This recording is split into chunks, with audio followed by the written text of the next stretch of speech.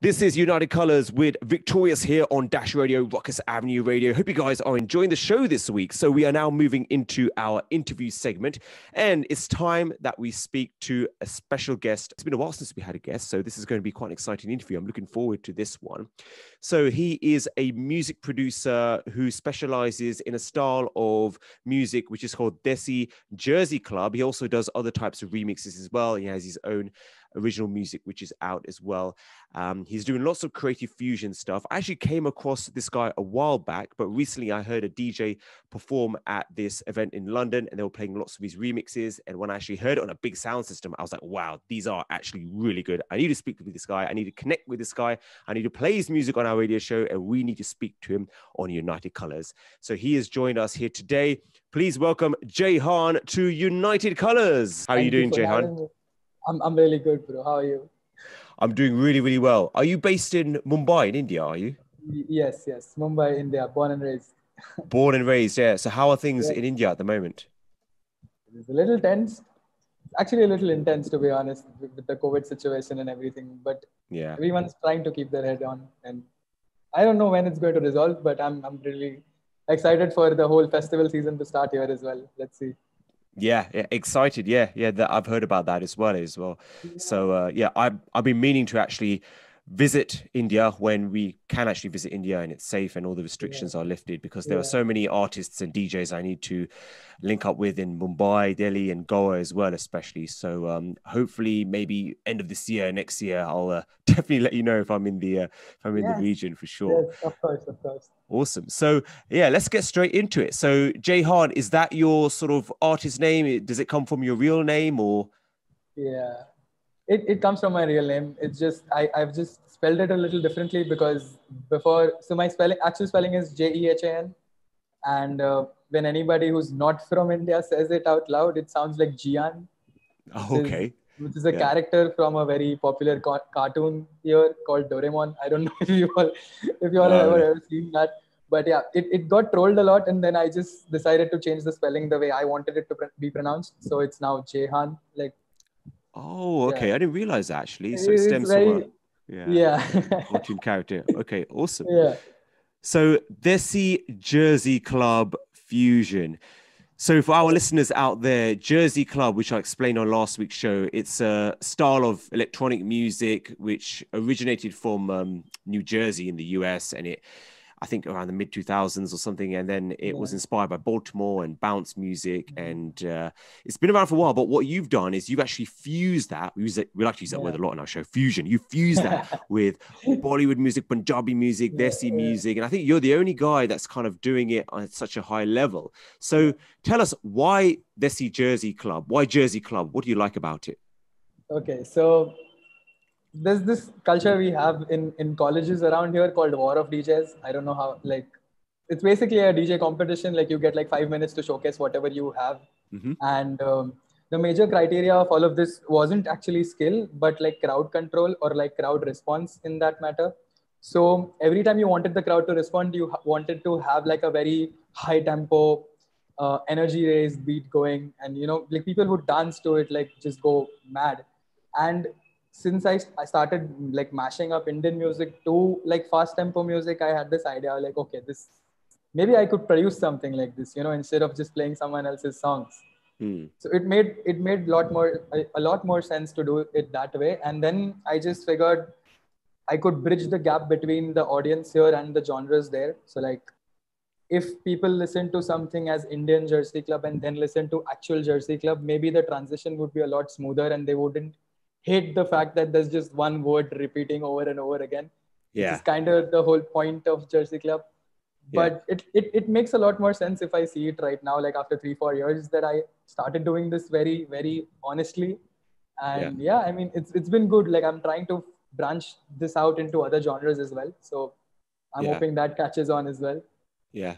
And are there many parties around Mumbai in India where people actually pay money to see a DJ play Jersey Club or that style or similar styles of music? So there are people. So firstly, there's no genres in India. Nobody cares any about anything but Bollywood. So whatever fits in the tempo, you play it, and that's it. Like nobody cares what you played. They just enjoy the music, and that's about it. But what happened is I saw this transition in DJs playing Jersey Club. People never really realized what they used to play. They just used to see the tempo of the song and they used to be like, I played a set which is on 150 or like I played a set which is on 160. And Yeah. they never cared about actually researching why the people reacted the way they reacted to your music or which song was it that sparked this whole thing into the audience. Mm. And it seemed very fake to be honest. Like I've seen people titled uh, hip hop nights and play Bollywood music there as well. So India is a little, yeah, a little shaky in that sense, but I'm just glad I got like some sort of exposure out in the states, which I hopefully can visit someday. Like after all of this is like a little better, but Ab- yeah, yeah. this, I don't think people in India still know what electronic music is. Like the transition is still happening as we speak. You know. Yeah. You know, it's incredible for you to actually say that. I mean, you're someone who does know what it is. And I'm sure there are artists and people who work in the music industry Yeah. who know about it. But the majority of people, what I find with India is that they like to catch on to trends. What's the coolest thing? What's the most popular thing? Yes, Yeah. I had the same conversation with nuclear and what it is in India. And I'm sure you know this as well. People are hungry for culture and for something new. Yeah. And, you know, like about 10 years ago when EDM was the biggest thing, everyone went Yeah. crazy for EDM. Now hip hop and everyone's going crazy Yeah. for hip hop. And then it's something else, and then it's something else. But the actual roots of it, where the culture comes from, uh, they don't quite understand that yet. And I guess it's because Exactly. maybe they haven't traveled as much or they've not actually been raised in that culture. But um, yeah, like, like you said, um, if someone throws a hip hop night and they're playing Bollywood, it doesn't always quite make sense. I mean, yeah, so people have to really kind of understand uh, Yeah. where it all comes from to actually appreciate the music. So I would always say that if you're working on a specific type of genre, try to go to that region where it, it was sort of uh, fathomed and try to, you know, where it was yes, born and yes, to understand it. yes. Yeah, for sure. now I, I get random messages saying how did you do this or where can i download samples for jersey club music um, it, it's very random but it's still sparking some interest in something that wasn't even like like it Mm. was alien before to the music industry as like in general but since i think the Tyga song that the Tyga did with Cookiee Kawaii, the, the song called Vibe. Yep. And uh, there's another song, I think, what was it? Level Up, Ciara. So all of these songs have sparked some interest in this genre, which I'm really happy about because now that people want to research more of it, they, they notice more of these artists doing it in like their own areas or their own towns. And it makes more sense because now you can see where it comes from or why you feel uh, a little familiarity when you listen to that sound. I don't know if I'm making sense, but Yeah, no, absolutely. Yeah, yeah. Yeah. No, you definitely you are making sense. Uh, and actually, what you're what you're saying is something that I was actually thinking about uh, five five years ago with Baile Funk, Brazilian Baile Funk. yes, So I've actually visited Brazil and South America a few times, and that's when I learned about that style of music, and then I researched it. And my my idea was to fuse that with South Asian and uh, Bollywood, and I started doing it, um, but I didn't get a chance to go too deep into it. And now we're Okay. actually seeing commercial, uh, you know, Bollywood tracks, Punjabi tracks, Indian which all have yeah, that, bi- yeah, yeah. we all have that baile funk inspiration, and Yeah. I'm and I'm Yeah. sitting there thinking, damn, I had this idea like four or five years ago. You know, I should have actually jumped on it a bit quicker. Um, but yeah, it's, it's it's all good. And actually, so uh, with that type of genre, and I, and I kind of want to talk about that because I know that you've got a song called Bo- Bole Funk. Is that Bole one of your tracks? Yeah, yeah, which is an awesome track. Yeah, we played that last week. Are you finding that that style of fusion genre, Brazilian Baile Funk with South Asian, is that also popular in in Mumbai? You're hearing that in clubs and things like that, or For sure. I'm, I'm hearing that because some of the commercial songs here. So basically, like I said, people here care about the energy and the tempo of your song. Yeah. Like in, I, I know I'm not explaining it in a little like deeper way, but no, you are, you are, yeah, it's basically the energy that they think about. So half the songs that are played in the club, people don't understand what the language it's in. Okay. So there mm-hmm. are Latin songs. Um, Bum Tum Tum is one of the songs by MC Yeah. Which is the one that sparked this genre. Like even for uh, me. Yeah. that was my first jersey club remix back in 2017 i think that is the first time i actually like publicly released something which was jersey club and i was like okay i'm doing this i'm not going to hide behind like my computer screen and just like wait for people to notice it like i just released it and that was it but i've seen baile funk actually evolve into like a whole commercial scene here in india because i've seen bollywood has that influence Yeah. and is like a dance number or like punjabi songs have like a lot, lot of baile funk it's basically different tempos but it's kind of the same arrangement wise and like like uh, like we can hear it like you know like we can see like where this comes from or Yeah.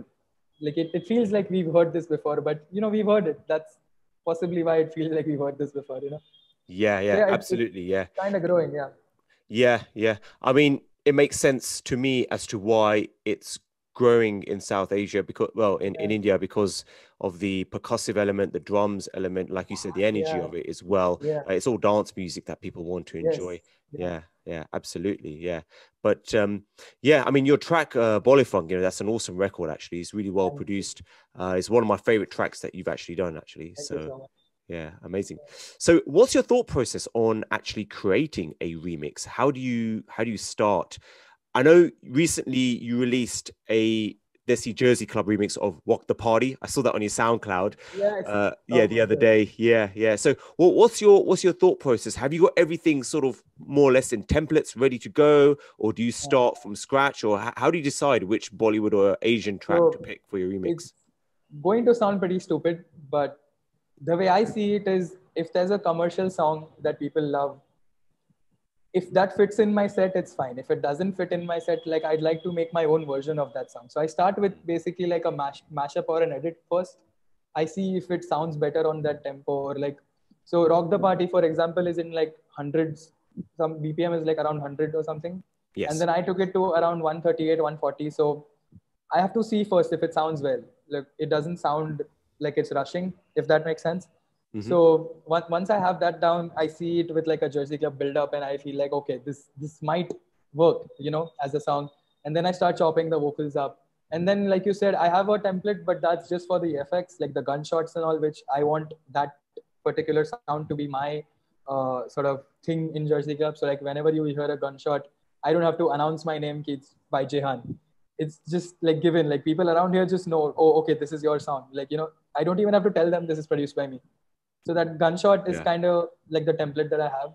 But I think that's about it. I just see if the song fits in my set or it doesn't. If it doesn't, then I just, you know, mess it up. Yeah, yeah. Tho- those gunshot sound effects are signature for yeah, they're Yeah. signature for Jersey, Jersey Club, aren't they? Yeah. Yeah. Okay, cool. Yeah. Yeah. Well, the way you do it is really cool as well, actually, because I remember the remix that you did with Imran Khan Amplifier. So that's actually uh, 80, 80 something BPM, and you actually made it into a uh, you know one 140 or 150 BPM record, which is uh, pretty Yeah, yeah, crazy. yeah. yeah, So yeah. I I did that with uh, I did that with one of my personal favorite Jersey Club producers. So that's like my I think my I I, I see it as my like biggest achievement in in Jersey Club, like in the community itself. I got to collaborate with DJ Mercs for it, and uh, that whole process was amazing. Like we were Hmm. literally on a video call for like two hours, and we finished that song Oh wow. and okay. it sounded so good it sounded so good we just decided you know what let's just release it right now yeah. and then Merckx just went in and uploaded it and he's like okay you know what we're doing it right now and then i think something happened like so he's he's been a little inactive since then like it's been like two three years but i still love him for it because he's like the og of jersey club and like i've seen all of these producers come out of nowhere. Even if they are not from jersey they don't get hate for it you know? Like how people see you as someone as like an outsider and they feel like you are uh, appropriating their culture just to feel like in the trend.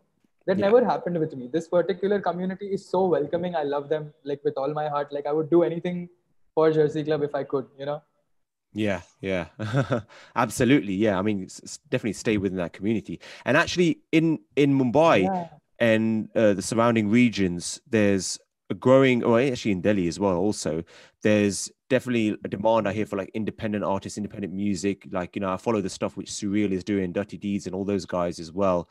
And uh, are you he's my friend i love him he's my friend Oh, you know each other. Okay, cool. All right, awesome. And are, Yes. are you, yeah, and are you finding that there are sort of events and parties and festivals where you can go to where you can hear all these artists and DJs perform on a regular basis, or is it quite niche still in certain areas? Or it it it was a little niche. Like it's been like two and a half years. There hasn't been any major festivals in India because of the COVID situation. Yeah, pre-COVID, and, and not just music festivals. Like yeah, literally any festival has like stopped happening here, and it feels a little weird because Mm. this is like the festival season. But pre-COVID, for music festivals, there were two. Uh, one Supersonic and the other one is like other. But Yeah. they used to happen on a basis where there used to be EDM artists who were trendy, like Yeah. who were in the top 40 or the top 50 of Yeah. whatever charts these people follow. DJ Snake, Tiësto. Yeah. All the support, yeah, but all the supporting acts, and this is actually kind of interesting because if the sub, if the main artist was booked by some particular artist management agency, right? So these guys, as event managers, used to find it cheap to just book the whole roster of that particular artist management. right. So okay. we never really knew who was the supporting artist. Like after he actually came here, like Hmm. it, it was just cheaper for them to just book the entire roster instead of just booking one main artist from here and then two three artists from some somebody else. And they used to just get some sort of like a bulk deal or something. But it gave us like a couple of really good acts like TroyBoi. Uh, they gave gave us Illenium, which is which like one of the best sets I've ever seen like live. Skrillex happened like years back. I don't even know if he remembers touring India. Yeah. because it was like back in 2015 16 i don't even remember. But yeah it's it's definitely developing. It's just they don't see the numbers yet. And i think managers want numbers in everything they do which is kind of fair. I mean Yeah. that's what they have to see. But Yeah. yeah, I, once once it catches on it's going to be unstoppable. Because in india people are crazy. Like you said they follow trends. But the way they follow trends is even crazier. They'll do everything. They'll go all in like I can't Yeah. even tell you how stupid it sounds, but it's going to be mad once it catches on. Like it's going to be gig, Yeah. gig, gig, gig, gig everywhere. You know, Yeah. it's going to be Absolutely. fun. Yeah. Well, once something is hot, everyone just kind of goes on and jump jumps on the bandwagon, and yeah, Yeah. That, that's what we call it here in the UK, jumping on the bandwagon. It's uh, yeah, it's, it's a sort of an Indian thing. If people see that something's working, is making money, everyone will just kind of go on to it. Yep. yeah, it's, it's just, yeah, it's the same in the UK. I mean, we have uh, our South Asian nights have kind of um, sort of been limited, I'd say, in the last ten years. Um, there are a lot of parties, but it's not as many as they used to be, and uh, they tend to be quite either Bollywood specific, Desi, Desi specific, or, Yeah. or Bhangra specific. Uh, but now there is a scene which is slowly starting to grow with the South Asian underground supporting independent artists. Um, cool. which is quite exciting to see actually, and Yeah, yeah. some of those some of those DJs that were playing recently at an event where they actually played your music, and that's when I heard it on I a big sound system. I, Yeah. saw, I spoke to all of them. You know, by the way, I, I reach out to everybody. Like just Yeah, just like know what the scene is there, and Yeah. the way they reacted to some of the music that they haven't heard yet, like like the ones that I sent after like I got to know them, they flipped out and they were like, "Why aren't you here? You know, like why aren't you here doing what we do? Like why are you in India just like sitting alone behind a screen, like where nobody is going to know what you do?" But it Yeah. makes a lot of sense because like like you just said, it's it's catching on everywhere. So I'm hoping yeah, India isn't too far behind on this whole bandwagon. Let's see Hmm. if it works yeah. out. Yeah. Yeah. And and also with Rukus Avenue Radio as well and our radio show, we're trying to push those new styles of music, Yes, those yes. fusion genres which uh, people aren't always exposed to and just showing the south asian audience and beyond that, that that there is more great music out there which is relatable and people can enjoy besides just the usual bollywood bhangra punjabi you know which is so big it's been around for decades and decades and it's a huge Yeah, yeah. industry but there are so many talented artists like yourself who are doing great things and very original things I actually heard about Rukus Avenue through a friend. Uh, through a Hmm. friend. Sorry, my bad. Through a Yeah. friend. Uh, he is signed to your artist management. Uh, he goes by the name Adi. Um, adi yeah of course yeah Adi or Adi. I don't know what you kind of. He, Yeah, he Adi, used that's to right. stay here, like right across like the street. I think he, he was my neighbor. We also did a song together called Bad Girl. I don't know if you like seen it yet. oh yeah not- okay yeah, yeah it's not a desi joint. It's like a Yeah. proper rap trap Yeah. kind of fusion joint. But yeah, he actually spoke to me about Rukus Avenue. He said, "Ki, uh, these are the guys who actually support the kind of music that you do." You know, yeah so I, I really appreciate the work you do. Like, Hmm. I, I don't know that if there's anything else I can say about the things that you guys have done. It's actually pretty cool. And if people notice you here, where somewhere people don't even know what genre play is, is playing, and people notice you here, it's a big deal. Like for anybody.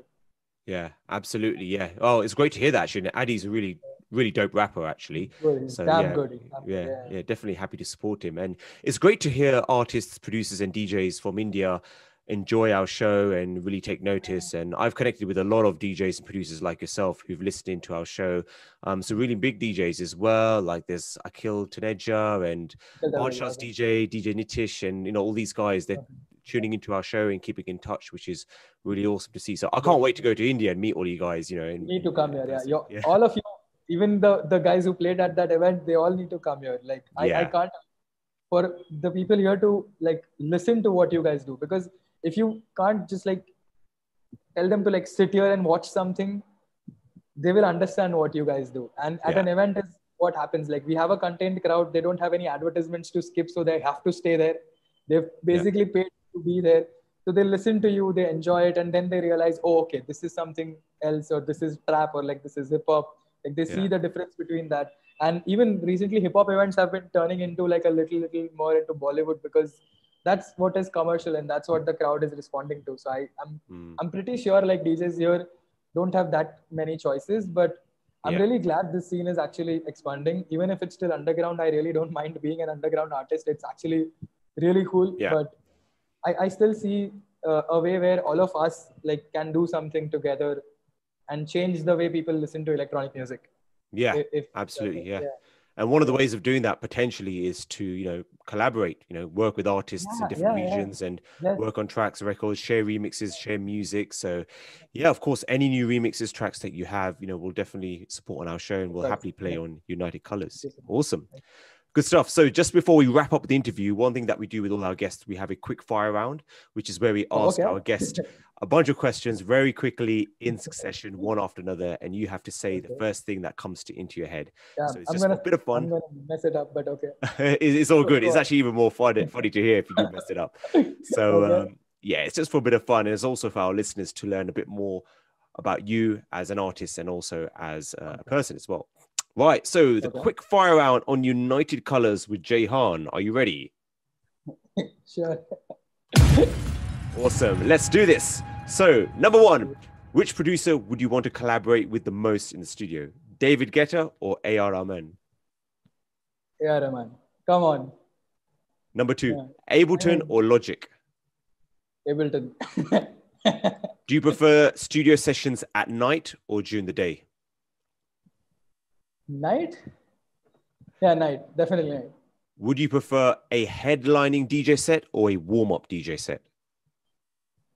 Warm up DJ set. Bollywood or Bhangra? Bollywood. I don't understand Bhangra. All good. Bollywood, Bollywood. Yeah. All good. And finally, what would you say is your dream festival gig to perform at? I recently discovered this festival called Dialed In. It's supposed to be like a very South Asian. Oh yeah, that's the one in the UK. I mean, I, I feel like that would be perfect for me. Like someone like me to like just yeah. come and do like a set. Yeah. It, it, it, it, looked amazing. Okay. I followed like a bunch yeah. of people after that event and like I saw all the stories and like yeah. that festival looks better than half the events that happened here. So I'm just gonna say it. yeah, I'm, that's the event I was talking about. That's the event where they played your music actually. Yeah. So. I, I love that. I oh they they did? Uh, yeah, they did. Yeah, it was Manara. She played. Um, I think your Bewafar remix was it? No, or was it your Amplifier oh. remix? She played one Possibly of those. Amplifier. Yeah, yeah. She plays like that remix a lot. Yeah. Yeah, I think it was your Amplifier remix. And actually, funny enough, on that stage, um, Skrillex performed as well. Um, he wasn't booked. Yeah, yeah, yeah. I freaked out. I freaked out. Honestly, yeah, he wasn't. I don't think he was booked to play, but he just turned yeah. up as a guest. He was friends with one of the DJ, and then he just decided yeah. to drop a set, which is so random, you know. Yeah, South, yeah, South Asian Underground Party and Skrillex yeah. play. Yeah, yeah, yeah. It was, it was, was really nice. Yeah. awesome, great.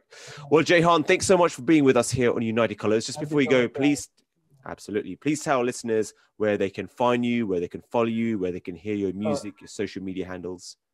Okay, so it's just one one username like across all the platforms. It's called Jayhaan Official. Uh, it's J A Y H A A N Official, and you can find me. You can tune into all of my music. I'm a little more active on YouTube than anywhere else, so please do follow me if you like it. And thank you so much for your support. Awesome. Thank you so much, Jayhaan, for being with us here on United Colors. Just before we leave you, one thing which I actually forgot to mention earlier, but we've started doing this with our interview guests. Just before they go, we asked them to name us their current favorite song. And whatever you choose, I will then try and mix that in a oh. South Asian world fusion style straight after the interview. You're going to love this. Okay. Go okay, on, go, go for it. Yeah. what's your current favorite song? Um, it's called Kilometer by Burna Boy. Burna Boy Kilometer. Yeah, I know the one. Yeah, big tune. Oh big tune. I, Yeah. I've, I've I've been listening to that song on repeat for like the past three days. I don't know. It's just stuck. Like Yeah. I can't get it out of my head. Like I, I really want to remix it, but it's just too good to like not to mess with. Like I would actually play the original. Yeah. It's- it- Yeah. Amazing track. Amazing Yeah. track. How is Afrobeats over there in India, by the way? Do people are people sort of listening to it now? The commercial Burna Boy, Kid, or is it still quite So sort of niche? Or... Burna Boy, Burna Boy. I've seen Burna Boy's on the low on TV. On the Mhm. low, like Anjali. on the low, like yeah. that song is catchy as hell like that's that's for sure but um the collab with ed sheeran sort of uh like stormzy and burna boy have a track with ed sheeran which kind of blew up a little Yeah. bit here in the in the commercial club scene so i'm guessing people listen to it a lot more. But after the whole bad bunny and everyone else like there's there's been a very fine line between afrobeat and latin latin pop i think. I don't know what exactly to like sort of call it. But Yeah. people I like I said, people if it fits in the set, they're playing it. Like people don't care what you do, like what language it's in, if it's a catchy tune, if it's like fitting in their set, if it's like a very good warm-up track or anything at all, they'll play it. Yeah, absolutely. I mean, you you'd love the UK then. Afrobeats is massive here. Can I It's can I can I move in? Like can I Yeah, yeah, you love it. Yeah, I always play lots of Afrobeats in our sets, but yeah, exactly. Kid, Burna, you know, all, all that kind of stuff. Uh, even P Square and uh, Rema and all those artists, you know, and even like the more kind of lesser known artists from Nigeria. Uh, you know, we, we have a really I'm big. trying to research a lot on Yeah. that. Like I really like that genre, and I, I feel like I want to make like a, an original in that like kind of vibe. So I'm just like listening to a lot of Afrobeats. this- this Yeah, yeah. It's been big in the UK for a long time, actually, but now Yeah. it's really at the forefront. It's commercial, and Oh, the biggest okay. record is uh, Essence, the Wizkid Essence. Um, Yeah, Essence, Justin, yeah. Justin Bieber. Remix. Remix. Yeah. Let's see. Awesome. Yeah. Wicked man. Yeah. Keep in touch. And like I said, any uh, any new music that you have, just feel free to send it our way. We'll happily support and uh, give you the, the shout outs that you deserved. All right. Cool. Thank you so much. Awesome. Jayhaan here on United Colors, World Fusion, Desi Jersey Club, Pioneer and Remix Extraordinaire. We are going to now play Kilometer by Burna Boy. That's up next as he's as that's Jayhaan's favorite song, and we're going to mix it in with the South Asian fusion uh, style like I normally do here on United Colors. Jayhaan here on United Colors. Thanks so much.